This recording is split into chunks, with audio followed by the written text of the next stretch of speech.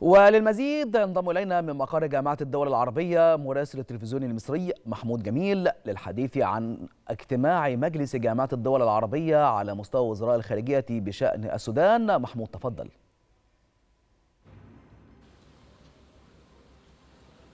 أهلا وسهلا بكم وبكل السادة المشاهدين. نتابع مع حضراتكم تفاصيل الاجتماع الوزاري الأهم الذي تم بين وزراء الخارجية العرب لمناقشة الأوضاع في السودان داخل جامعة الدول العربية. انتهى هذا الاجتماع والقرار الأهم الذي خرج من هذا الاجتماع هو تشكيل لجنة تضم مصر والسعودية والسيد الأمين العام لجامعة الدول العربية لبحث التطورات في السودان والتواصل مع الأشقاء للعمل على وقف إطلاق النار داخل السودان وأيضا الحفاظ على المؤسسات السودانية وعودة الاستقرار للسودان مرة أخرى. أما داخل الاجتماع كان هناك كلمة هامة للسيد أحمد أبو الغيط الأمين العام لجامعة الدول العربية أشاد فيها بمبادرة المملكة العربية السعودية التي تمت منذ يومين فيما يتعلق بالتواصل مع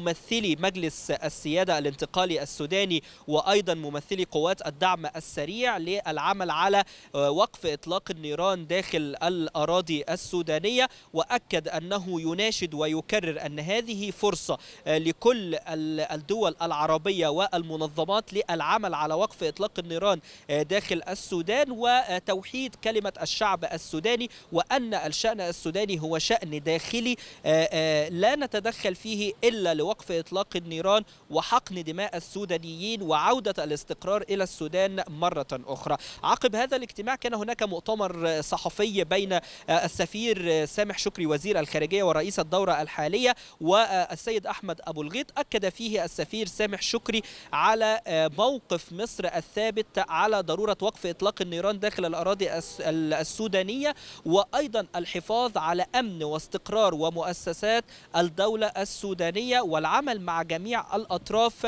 لوصول المساعدات والإغاثات إلى السودان الشقيق وأيضا وقف إطلاق النيران. ثم تحدث أيضا السفير سامح شكري عن جهود مصر في استقبال عدد وفير من الأشقاء السودانيين عبر المعابر المختلفة وأيضا استقبال ما يقرب من أربعة آلاف من الرعاية الأجانب قادمة من السودان.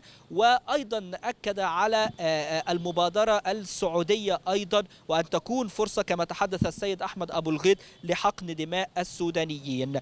ثم أيضا تم التأكيد على أن مصر دائما تقدم أو تؤكد الحفاظ على السيادة السودانية وأن شأن السودان هو شأن داخلي لا نتدخل فيه إلا لحقن دماء السودانيين. ثم أيضا كان هناك يعني تصريحات إعلامية لممثل وزارة الخارجية السوداني وجه فيها الشكر للسيد الرئيس عبد الفتاح السيسي وللحكومة المصرية على جهودها في استقبال السودانيين عبر المعابر المختلفة. وثمن أيضا جهود الجامعة العربية اليوم فيما يتعلق بالقرار لتشكيل هذه اللجنة التي ستبدأ أعمالها للتشاور وأيضا العمل على وقف النزاع والقتال داخل السودان.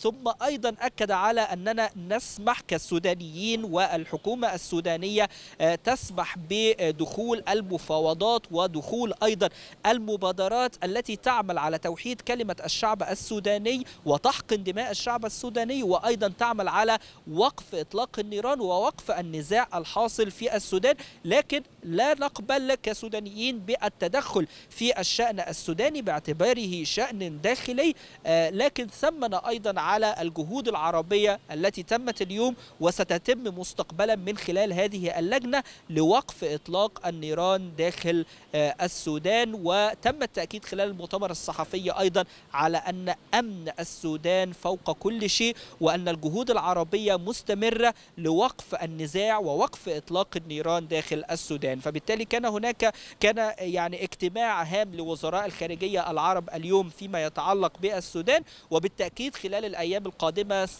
سنرى وسنتابع خطوات هذه اللجنة التي تم تشكيلها وصدور قرار بتشكيلها اليوم لوقف القتال ووقف إطلاق النيران داخل السودان. هذه هي التفاصيل الخاصة بالاجتماع وزراء الخارجية العرب فيما يتعلق بالأوضاع في السودان.